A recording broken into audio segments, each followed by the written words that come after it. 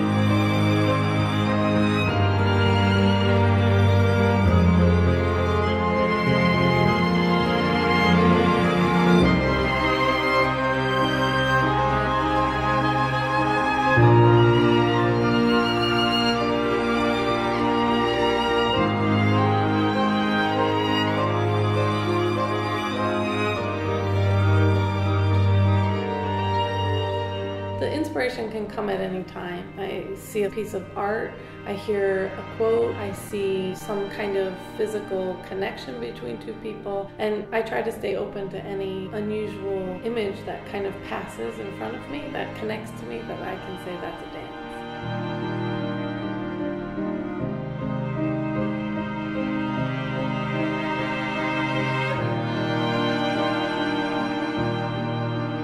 When I see an image, I draw it. When I go to work on a new piece, I have these specific images that I know I want to incorporate into the piece. I don't necessarily know how I go from one image to the next, but I know that they're images that resonate really deep and are really memorable.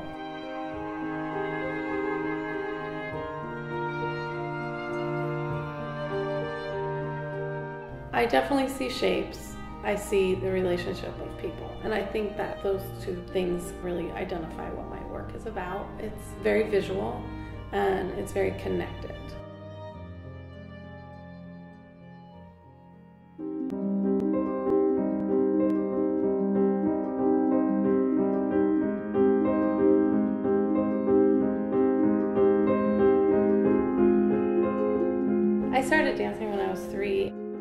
Parents were really dedicated at making sure that we tried everything from playing the violin to gymnastics, horseback riding. Dance was really the thing that I felt most comfortable in. It just never stopped.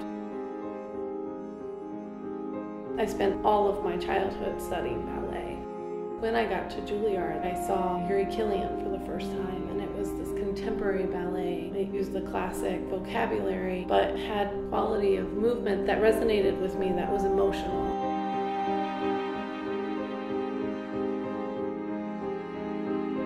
Dance is a short lived career. It's not something you can do for the rest of your life. A lot of people search for what could they do next.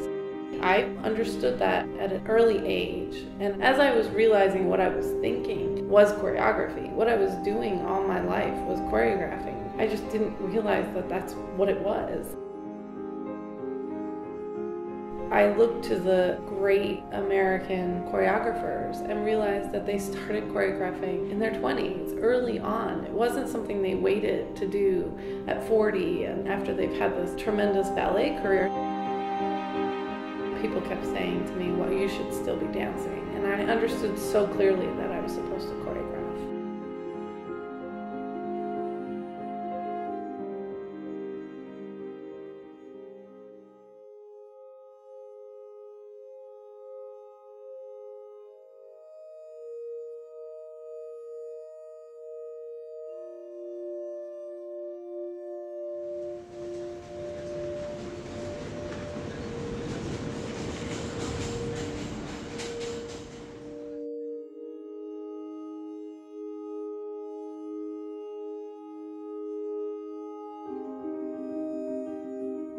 I don't just look for a good dancer, I look for a good person. I want to love them because I'm giving them something so personal. Part of me is that I want my work to have a human understanding. I want my dancers to be human. I think I found my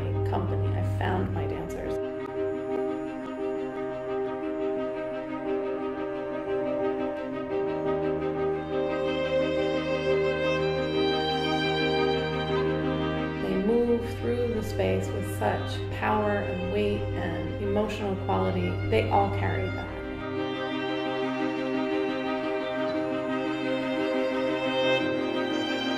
They balance each other out. There's a sense of sweetness to some of their movement, and I think there's some really deep, poetic, almost haunting artistry.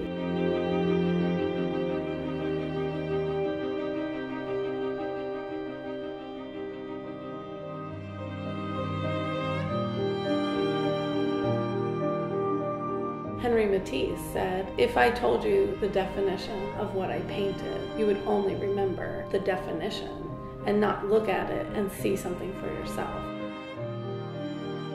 That's how I feel about dance. I feel like whatever you see is what you see, whatever you feel is what you feel, and nothing's wrong in any of that.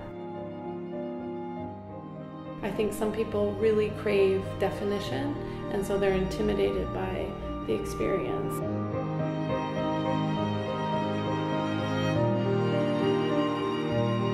I hope that when my audience sits down that they're willing to watch and engage and I know not everyone wants an emotional experience, but I think that's what you see through my movement. Dance is a nonverbal art form. It's so subtle and it's so it's so expressive. I think it's just one of the most beautiful art forms because it's coming from our human body.